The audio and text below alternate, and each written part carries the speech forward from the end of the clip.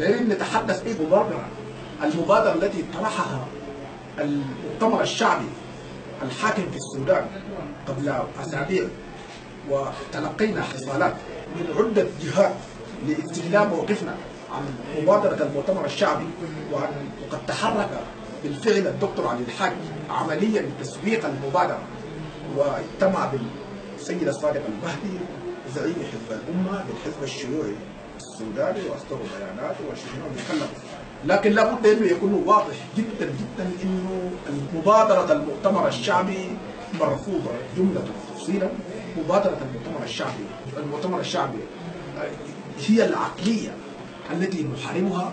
المؤتمر الشعبي حركة جيش تحرير السودان لله ولن تكون جزءا في حكومة فيها المؤتمر الشعبي لأن المؤتمر الشعبي حزب سببت في انفصال الجنوب بعقليتها. المؤتمر الشعبي شفنا السلوكيات بتاع قيادته. دكتور حسن الترابي مثلا كان يجند الناس للجهاد جهاد جهاد. حينما نقل من السلطة حينما لما طلعوه من السلطة قال إنه الكلمات في الجنوب كلهم فطايس وحي مجاهد. لذلك كل الحديث الذي كان يروج لها التلفزيون السودان الصحف الراديو عن الجهاد الترابي طلع إنه كل المات فطايس الزمير محمد صالح. فطيس إبراهيم شمس الدين فطيس علي عبد الفتاح فطيس أبو لجانه فطيس وكل الساحات الفداء والكلام اللي كان بيكتب فيه إسحاق عبد فضل الله اللي بيروي فيه التلفزيون السودان كله كذب لأنه كل الترابي قال إنه ما فطايس وما في مجاهد ما مجاهدين وما في أي مجاهد واحد. ده شكل الكذب بتاعه شكل الكذب بتاع الترابيين. شفنا أيضا حديثهم عن الحريات وما حريات وحريات اللي يتحدثون عنها كطبيعي سكت ما ما حزب بتاع حريات والدليل. أي دول خلينا نرجع للدستور 98 من أكثر الدساتير جمودا وتحجرا من أكثر الدساتير تحدثت تماما عن الحريات إلا أنها صادرتها بعبارات رنانة وفقا للقانون وفقا للقانون وبثوابت القانون وغيرها من بقوانين النظام العام. وقوانين قوانين الأمن وغيرها من القوانين المقيدة للحريات قوانين بدرية سليمان وصادرت حديث حسن الترابي عن الحريات وما الحريات وطرح نفسه على أساس أنه امام الحريات وفي ناس ظلوا لأكثر من 20 سنة من ما ركلوا من السلطة ليه الليلة أيام المفاصله الشهيرة. يسمونه حسن الترابي إمام الحريات وطارح نفسه على أساس إنه هو رجل حريات لكن هذا كذب. حسن الترابي تاريخه معروف تاريخ متربص تاريخ بتاع يعني شخصي خبيث للغاية.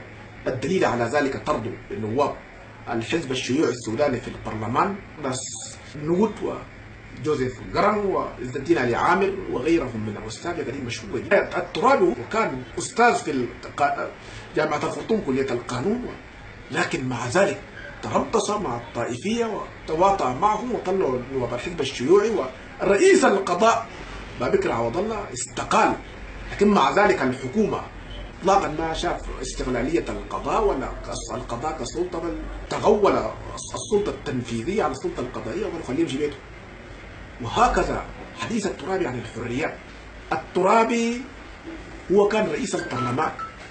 كان له يعني بيت على البرلمان لكن مع ذلك كل القوانين المقيده للحريات كان بأمره, هو بكتابته هو وكل الانتهاكات التي حدثت من من منذ بدايه الإنقاذ بيوت الأشباح واطلاق يد الأمن والشرطة وضرب الطلاب وانتهاك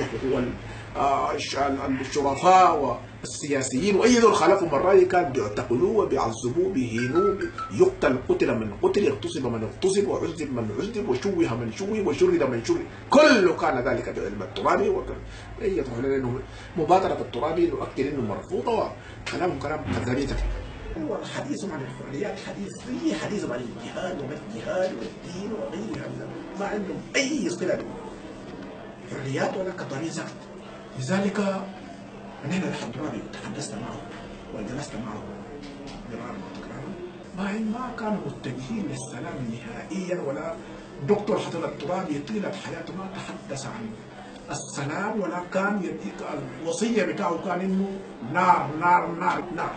أيضا ورقتنا الورقة بتاع الرؤية بتاعتنا كحركه جيش التحرير السوداني في منظر الترابي يعلم ذلك كبيرا التقينا أيضا التقيت الدكتور علي الحاج محمد 2004 تحدثنا معه صراحة وكان دائما اننا نشارك في المحاولة الانقلابية التي قادوها. كان جانا بعد شوية الحاج آدم يوسف حاج ساطور. حاج ساطور فاري وبعد شوية رجع في الخرطوم لذلك علي الحاج محمد إحنا جلسنا معه. جلسنا مع الحاج محمد. جلسنا مع مع عمر عبد السلام. وكان وقتئذ الأمين امين الشؤون العقلية. ثم أمين الشؤون السياسية والآن في البرلمان. أيضا كان معه موسى المقبول وآخرين. المؤتمر الشعبي تنظيم حركة جيش تحرير السودان تتجه لمنع قيام التنظيمات على غرار المؤتمر الشعبي. المؤتمر الشعبي رفض في هيئة التجمع الوطني الديمقراطي بعد أن أيضا كذلك رفض حركة العدل والمساواة بقيادة الدكتور خليل إبراهيم محمد لخلفياتهما في 2003 والتجمع الوطني الديمقراطي من أهم التجمعات تجمعات المعارضة حيث أرست أهم القضايا في مقررات أسمرة للقضايا المصيرية في 15 يونيو حزيران 1995 وشاركت في المؤتمر جمع من القيادات السياسية والنقابية والعسكرية والشخصيات الوطنية المنضوية تحت لواء التجمع الوطني الديمقراطي وهي حزب الاتحاد الديمقراطي، حزب الأمة، الحركة الشعبية والجيش الشعبي تحرير السودان تجمع الأحزاب الإفريقية السودانية الحزب الشيوعي السوداني النقابات السودانية مؤتمر البيض والتحالف السودانية وشخصيات وطنية مستقلة أخرى. تداول المؤتمرون تناولوا في القضايا الأساسية تركزت نقاشهم في إيقاف الحرب وإحلال السلام التي يتحدث عنها الدكتور عبد الحاج محمد. أيضا في حق تقرير المصير وفي مبدأ علاقة الدين بالدولة أو فصل الدين عن الدولة أقرت فصل الدين عن الدولة وشكل الحكم في المرحلة الانتقالية وغيرها من القضايا. فالمهم أن المؤتمر الشعبي أتت وتقدمت ورفضت طلبها. قضية قضايا الشعب تنظيم ضد حقوق ضد أي أي تنظيم يقوم على أساس من الدين أو على أساس عرق وهي من حاربت الجنوب باسم الدين وحاربت دارفور.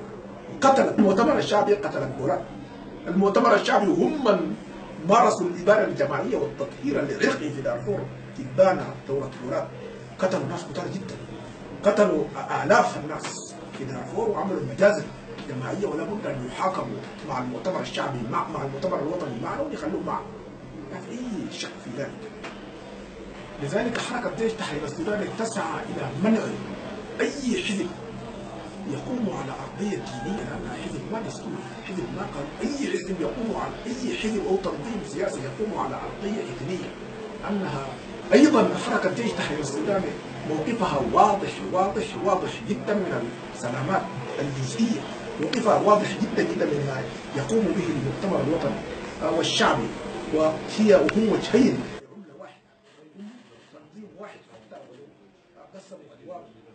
المؤتمر الوطني المؤتمر الوطني لو كانت تريد السلام البشير كان ما مشى ابدا.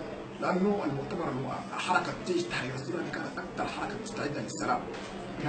شخصيا يعني حاورت المؤتمر الوطني وتحدثنا معهم بانه الطريقة بتاع القتل حقن الدماء واجبنا إننا لابد إننا نتجه لحقن الدماء. لابد أن نعمل لوضع حد للاقتتال الداخلي. لكن المؤتمر الوطني كعقليتها اتجه لقتل الشعب اتجهت لتسليح القبائل ضد بعضها البعض. وده بالضبط السياسة اللي اتخذوا حسن الترابي لأنه يقتل الجنوبيين لأنهم أغلبهم مسيحيين ولا دينيين. بأكذوبة الجهاد والوهم بتاع الجهاد. وأخيرا يتمرة انه قالوا ماتوا كلهم فطايش. أي زول مات في الجنوب فطيش. ده كان كلام الترابي بعد ما كان أكثر زول هو اللي يجنن الجنود بنفس القدر المؤتمر الوطني.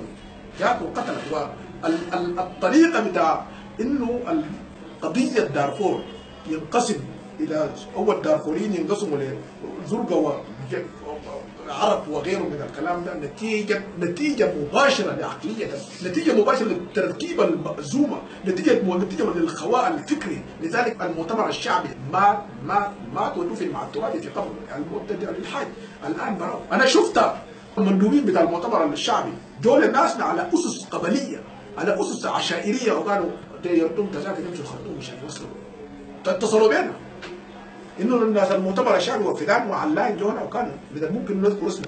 هم اللي قاعدين يعملوا لنا هم الشعبي من شده ما منحطين اخلاقيا لو في عضو من أعضاء حركة الجيش تحرير السودان الشاطر ولا بيقول له ده ده يقول له إنه اللي بينهم مع البت الفلان. جماعة حسن الطوال الموجودين بداخلنا موجودين بأوامر الاتحاد وبعض من زوينا بعض الناس من زوينا موجودين في داخل حركة تحرير السودان بيمارسوا أبشع الممارسات في عضو الشاطر بيقولوا له إنه لقينا بيمارس الفاحشة مع والرذيلة مع البت الفلاني و ويحاولوا يشنوا سمعته بأي شكل من الأشكال. ولا لو شافوا زول مبرز ولا كده يقولوا إنه زول ده حكومي ولا زول ده خاين ولا زول يعني أساليب قذرة للغاية. نفس الأساليب القذرة والخبيثة التي صفى بها آه حسن الترابي آه الرعيل الأول من الإسلاميين.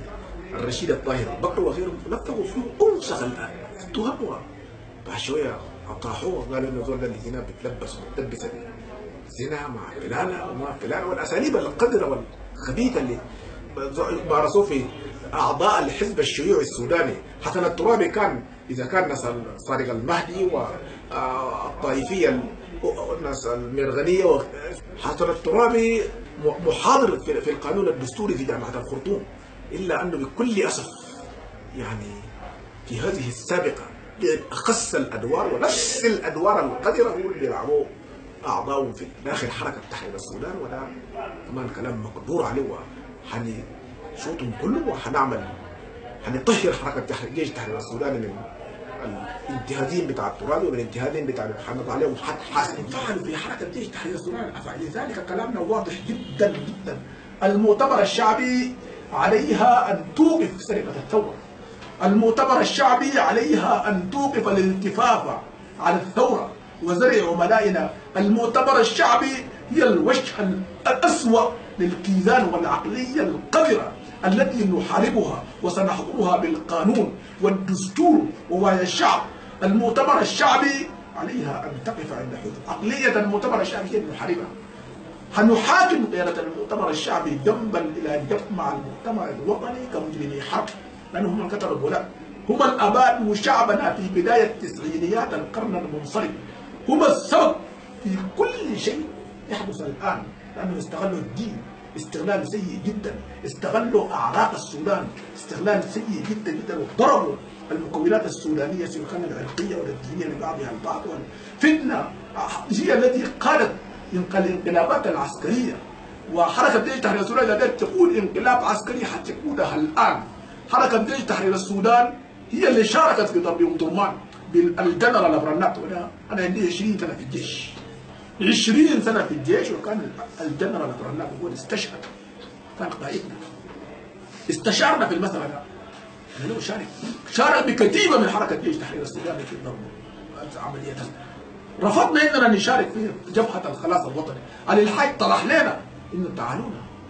دايرين شنو يشارك؟ وكانوا الهدف والمغزى منهم يشاركوا في العملية اللي عملوه في 2004 وأنا كنت تكلمت أنا مع الحاج في إحدى فنادق اسمها كنا أنا وآخرين. بينما كان علي الحاج كان علي الحاج وكمال عمر عبد السلام الوزير المسؤول العدلي وكان معه موسى والمذكور وآخرين. بينما تحدثنا كان كلامنا واضح انه بعد ما رتب نصر الحاج إنه يعني يستولوا على الحكم في السودان بأكذوبة الأغلبية المهمشة ومؤتمر الأغلبية المهمشة واجتمعوا هو دكتور خليل وآخرين إنهم يمثلون الأغلبية المهمشة وجوا اجتمعنا في أسمر في إحدى الفنادق زي ما قلنا ورفضنا إنه نعمل عمليه تمسيك في أي عمل. وبعد شوية عملوا انقلاب وانقلاب فشل. وجاء الحاج آدم يوسف فاري بعد. و الدنيا كله إنه القبض على متهم هارب وإنه في متهم هارب ويجب انه يلقى القبض عليه والقوا بعد شوية حاجة آدم يوسف بعد ما كان من المناطق المأزومة استقال من المؤتمر الشعبي وانضم للمؤتمر الوطني وعينوا نائب لرئيس المؤتمر الوطني ونائب للبشير أيضا في ما يسمى برئاسة الجمهورية. فالخلاف بين الكيزان خلاف مصالح زي ما ما في اي ما عنده أي مبدأ زي بدر الدين طه كان في المؤتمر الشعبي أيضا مشى المؤتمر الوطني والآن يتقلب يتقلد المناصب. فالخلاف بينهم كلهم خلاف. مصالح عبارة عن حرامية وإذا اختلف الاصبع من ظهر المسروق على المؤتمر الشعبي أن تقف في حدوده. على المؤتمر الشعبي أن توقف كل شيء هم اللي بعدين خلقوا الدقون وبعدين عاملين فيهم المعادن خلقوا الدقون وبعدين بينفذوا مكاتبنا دي زي مكاتب النظام الخالف. وده لا حوار ولا حوار الوصل والنتائج إحنا ضده. ما دايرين ابدا ابدا. حركة تيجي تحرير السودان. حركة تسعى لتحرير السودان. وأي حركة حقوق مدنية وسياسية. لأن السودان ما دولة ابدا، السودان ما وطن ابدا، السودان عبارة عن ذنوب بشرية، السودان عبارة عن مستنقع. قذر عبارة عن غابه للوحوش حركة جيش تحرير السودان تسعى لتحريرها تسعى لزيادة حكم القانون. حركة حقوق مدنية وسياسية. السودان دولة وطن يسع الجميع. حركة جيش تحرير السودان تؤمن بأن بأن الدين لله والوطن للجميع. حركة جيش تحرير السودان ما إذا كمان الدين. أكثر ناس قاعدين يصلوا يصوموا نعبد الله سبحانه وتعالى بنقول المخلصين. إحنا في حركه ليش السودان إلا أننا لا ولم ولن نسمح بقيام أي حزب على أساس ديني. صحيح الدين قيمة ومكون اصلي وأصيل من الشعب السوداني الا اننا ما نسمح ابدا بقيام دولة على أسس دينية أو عرقيه أو غيره من الأسس المرفوضة. لابد إنه الوطن يكون للجميع والدين لله سبحانه وتعالى كما قال الله سبحانه يكون الدين كله لله هذا الدين. يجوا الناس؟ يقولوا جهاد جهاد وعشان يقولوا كان مجاهدين فضائس المؤتمر الشعبي أو الحركة الإسلامية بشقيها شركاء أصليين. شركاء في كل شيء حدث في السودان وفي تدمير العلاقات السودانية فيما انتقاص أراضي السودان في. إنه الدول يشيلوا مثلا حادث اعدام محمود محمد طه المهندس المهندس ال... ال... الخفي بتاعه واحد الترابي هو من قتل محمود محمد طه. وتآمر على قتله بتهمة الردة وهو الليلة أكثر زول ينكر إنه هو ما في حد الردة و يستشهد بقوله سبحانه وتعالى وقل الحق من ربكم فمن شاء فليؤمن ومن شاء فليكفر. الآية هي نفس الآية. يعني في زمن محمود محمد طارق واليوم لذلك الترابي كذاب أيضا محاولة اغتيال حسني مبارك في أديس أبابا من العام 1995 كلهم شركاء في المؤتمر الشعبي والوطني مع الإسلاميين عموما. هم شركاء بشكل أساسي جدا جدا يعني أيضا تفجير سفارتي أمريكا في نيروبي ودار السلام. أيضا المؤتمر الوطني والشعبي شركاء فيه. وضع السودان في قائمة الدول الراية للإرهاب. أيضا شركاء فيه. لذلك الحديث عن عن المؤتمر الشعبي زيادة كذب. المؤتمر الشعبي شريك في كل ما يحدث في السودان وفي حال السودان هو شريك اصلي واصيل ولا يمكن ابدا للمجرم أن يطرح نفسه منقذ حركة جيش تحرير السودان تواجه إرهاب دولة. تواجه دولة تستخدم كل أجهزتها الأمنية والمخابراتية علاقاتها الدولية. تستخدم الشرطة وكل حرب الشعب لقتل الشعب. من البداية قالوا لو في متمرد واحد أو مشتبه واحد. نحرق الحلة كله. نبينه الحلة كله. عشان كده دارفور كله دمروا بالشكل ده. المؤتمر الشعبي شريك اصلي وأصيل. في كل جريمة حصل. شريك اصلي وأصيل في إنه الحكومة الحالية تكون حكومة منبوذة. شريك اصلي وأصيل في إنه الحكومة تكون حكومة إرهابية وتكون لأنهم أئمة الإرهاب. هم اللي جابوا أسامة بن لادن. هم اللي حاولوا اغتيال الرئيس محمد حسني مبارك في اديس ابابا في 95 هم اللي فجروا السفارات بتاع أمريكا في نيروبي ودار السلام. هم المتح... الذين تسببوا في توتير العلاقة وال... إن السودان يصبح دولة منبوذة في العالم انه الجواز السوداني يصبح جواز إرهابي انه الشخص السوداني نفسه يصبح شخص إرهابي لأن الحكومة كانت إرهابية وإن الترابي كان توجه توجه إرهابي. استغلوا الدين لسيطرة على ولجلب الإرهابيين في كل العالم وأصبح السودان دولة إرهابية بكل المعايير ودفع السودانيين ثمنا غاليا. غندور ما يجي يغشنا. غندور ما يجي يغشنا ابدا ابدا إنه هو دبلوماسية أطباء الأسنان دبلوماسية إبراهيم غندور ومصطفى عثمان إسماعيل ولا دبلوماسية أمراء المجاهدين دبلوماسيه الكرتي ده أفشل الدبلوماسية لأنه كل ال record وال CV بتاعه معروف في العالم الارهابيين ذاتهم نحولوها كان ما جاء ابدا. لويس مورينو اوكامبو كان ما جانا نهائيا. فاتوا بن كان ما جانا المحكمة الجنائية الدولية. كان غير بشير ما بيكون مهزله كان بشير غير في أي محكمه بيكون خايف. كان البشير ما بيكون لنا إهانة وذلة وعار للسودان والسودانيين. كل في أي محل مشى. جماعة المنظمه والإنسان مستعدين يقبضوا عليه. كل العالم مستعد يقبض على عمر أي محل مشى ما مرحب به مصدر للصغار والذل والعار للشعب السوداني لأنه ما سمعوا كلام من البداية. كلمتم أنا كلام الكلام ما صحيح. بعدين يا عمر البشير ويا قادة الخطأ. المؤتمر الوطني الكلام ده خطأ. يا عمر البشير وقادة المؤتمر الوطني قتل الناس كأنما قتل الناس جميعا ومن أحياها فكأنما أحيا الناس جميعا وسنة العالم كده. يا عمر البشير أوقفوا قتل الناس أوقفوا الإهانة أوقفوا ذل الشعب. ده لكن أبو كله كله لذلك جانا العدالة الدولية جانا أوكامبو جانا كل نتيجة إنهم رفضوا طرح حركة جيش تحرير السودان وحركة جيش تحرير السودان المؤتمر الوطني رفض السلام. قلنا يغيروها وقادرون قادرون قادرون يغيروها. الأحزاب اللي دايرة انقلابات عليهم أن يعلموا أننا قادرون أن نعمل انقلاب عسكري. الآن لأنه الذراع العسكري. حركه تحرير السودان أيضا تعمل داخل العساكر. ما مؤمنين بالانقلاب الضمائر لا تسمح بذلك. مبادئنا ترفض الانقلابات العسكرية ولو دارين نعمل انقلاب عسكري الآن نقول أنه قاده العساكر معظمهم معنا قاده شرفاء الجيش معنا أنا شخصيا اشتغلت 20 سنة عندي 20 سنة في الجيش الآن. اشتغلت سنتين مع الجنرال هناك وشارك في عملية الذراع الطويل بكثير من الوقت. كنت على التنسيق معه. ضربهم ضرمان ما قليل معه. ما يتكلموا سكت حركة حركه ديتا كان لها اليد الأولى في ذلك. لكن حركة دي تحرير السودان لا تؤمن بالانقلابات العسكرية. حركة لو دايرين يخشوا الخرطوم ولا حيخشوها ولأن شغل كبير جدا شغالين. لابد المؤتمر الوطني يعلم ذلك جيدا لابد أن يعلم إنه أكثر من 90% من الشعب من شعب دارفور تؤيدنا لنا في حركة تحرير السودان باستطلاعات الراي من 2006 والشعب لازم يعرف إنه أن إحنا وقت كنا في أبوجا ما رفعوا عننا الكاهل الضغوط الدولية إلى الشعب. لما الشعب طلعت مظاهرات عارمة وهدفوا ضد اتفاقية أبوجا لما رفضوا اتفاقية أبوجا لما كان كان استفتاء واضح جدا والاستفتاء أعلى سلطات الشعب. قلنا الشعب هناك ادوهم حقه والكلام ده طلعته أنا.